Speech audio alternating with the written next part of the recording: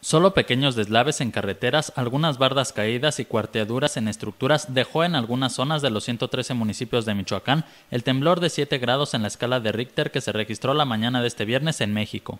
Prácticamente, prácticamente en todos, ¿eh? en Zamora, bueno, bardas caídas, eh, han sido bardas que fueron mal cimentadas más que nada, no por la magnitud del sismo pero han sido en Zamora, en Uruapan, prácticamente en todos hay algunas cuarteaduras nada más. Autoridades estatales de seguridad pública y protección civil sobrevolaron algunas zonas del estado para supervisar posibles daños en estructuras de inmuebles. Un hospital privado sufrió caída de plafones y la iglesia de San Agustín de Morelia algunas grietas y cuarteaduras, pero nada que pusiera en riesgo a la población.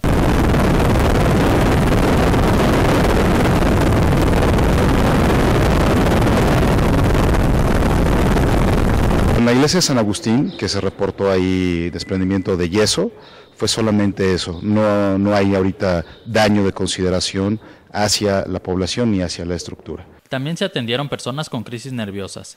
Sí, fueron cerca de 15 reportes con crisis nerviosas atendidos por Protección Civil del Estado, Protección Civil Municipal y Cruz Roja. Debido a la intensidad del temblor se generó una alerta de tsunami y recorridos de vigilancia en la costa. Se genera una alerta de tsunami, pero es una manera preventiva no se espera solamente corrientes fuertes, eso es todo. Se pide a la población estar alejada del mar, o sea, de la playa, pero esto no significa que, se espere un tsunami de ninguna manera. Simplemente es estar eh, alerta.